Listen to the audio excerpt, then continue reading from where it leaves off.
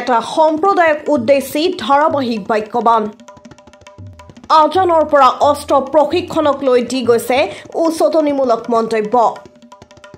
আজান বন্ধ কৰিব লাগে বুলি কোৱা বাবে জেললৈ যাবলৈ প্ৰস্তুত বুলি মন্তব্য শিলাদিত্যদেৱৰ নিয়ন্ত্ৰণহীন শিলাদিত্য।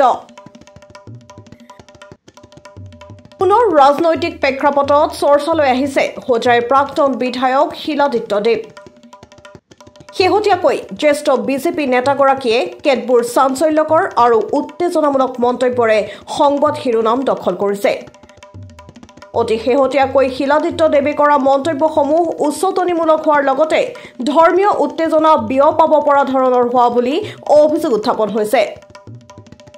মংগলদৈত ৰাষ্ট্ৰীয় বজৰং দলে অস্ত্ৰ চালনাৰ প্ৰশিক্ষণ দিয়া কাৰ্যই অসমৰ লগতে দেশজুৰি সৃষ্টি কৰিছে চাঞ্চল্যৰ। আৰু মংগলদৈৰ ঘটনাৰ পাছতেই সক্ৰিয় হৈ উঠিছে শিলাদিত্যদেৱ মংগলবাৰে শিলাদিত্যই অস্ত্ৰ চালনাৰ প্ৰশিক্ষণক সমৰ্থন জনাই আত্মৰক্ষাৰ বাবে অস্ত্ৰ চালনাৰ প্ৰশিক্ষণৰ প্ৰয়োজনীয়তা আছে বুলি মন্তব্য কৰিছিল। মুছলমানে এ কে ফৰ্টি ছেভেন আৰু ৰকেট লাঞ্চাৰেৰে হিন্দুক আক্ৰমণ কৰিলে হিন্দুৱেও আত্মৰক্ষাৰ বাবে অস্ত্ৰ চালনাৰ প্ৰশিক্ষণ ল'ব লাগিব বুলি চাঞ্চল্যকৰ মন্তব্য কৰিছিল। বুধবাৰে কোকৰাঝাৰত পুনৰ উত্তেজনামূলক মন্তব্য কৰে শিলাদিত্যদেৱে মাইকত আজান দিয়া কাৰ্য বন্ধ হ'বই লাগিব বুলি হুংকাৰ দিয়ে শিলাদিত্যই। ভাৰত ধৰ্মনিৰপেক্ষ ৰাষ্ট্ৰ। ধৰ্মনিৰপেক্ষ ৰাষ্ট্ৰত ধৰ্ম ৰক্ষাৰ নামত অইন ধৰ্মৰ লোকক ডিষ্টাৰ্ব দিয়া কাৰ্যক মানি নলয় প্ৰাক্তন বিধায়ক শিলাদিত্যই। তেওঁ কয় মুছলমানে বছৰত এহেজাৰ আঠশ পঁচিছ বাৰ আজান দিয়ে। আজান দি হিন্দু লোকক মানসিক অশান্তি দিয়ে মুছলমানসকলে। আজান বন্ধ কৰিব লাগে বুলি কোৱা বাবে জেললৈ যাবলৈ প্ৰস্তুত বুলি মন্তব্য শিলাদিত্যদেৱৰ আজানৰ বিৰুদ্ধে পাব্লিক ওলাই আহি প্ৰতিবাদ কৰিব লাগে বুলিও চাঞ্চল্যকৰ মন্তব্য কৰে প্ৰাক্তন বিধায়কগৰাকীয়ে।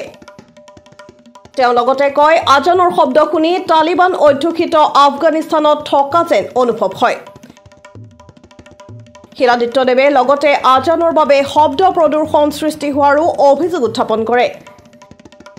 এইটো প্ৰশ্ন হয় কাক উদ্দেশ্যি এই আহ্বান বিজেপি নেতাগৰাকীৰ।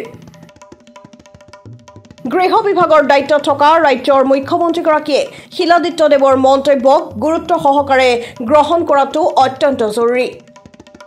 কিয়নো ফিৰিঙতিৰ পৰা খাণ্ডৱ দাহ হোৱাৰ সম্ভাৱনা নুই কৰিব নোৱাৰি। অত্যন্ত সংবেদনশীল আৰু স্পৰ্শকাতৰ এনে মন্তব্যৰ পাছত শিলাদিত্যদেৱৰ বিৰুদ্ধে ব্যৱস্থা গ্ৰহণ কৰিবনে অসম আৰক্ষীয়ে? উচ্চতম ন্যায়ালয়ৰ নিৰ্দেশক অৱমাননা কৰি উত্তেজনা আৰু ঘৃণা বিয়পোৱা এনে মন্তব্যৰ বাবে অনাকাংক্ষিত পৰিস্থিতিৰ সৃষ্টি হলে জগৰীয়া হ'ব কোন? উত্তৰ দিব লাগিব ৰাজ্য চৰকাৰে। একে সময়তে চৰম সাম্প্ৰদায়িক কথা বতৰাৰে সাম্প্ৰতিক সময়ত ৰাজ্যৰ ঐতিহ্যশালী সম্প্ৰীতিক বিনষ্ট কৰিব খোজা এনে মন্তব্যক ৰাজ্যবাসীও বিচলিত নহৈ সহনশীলতা প্ৰদৰ্শন কৰাটো সময়ৰ আহ্বান হিচাপে বিবেচিত হৈছে।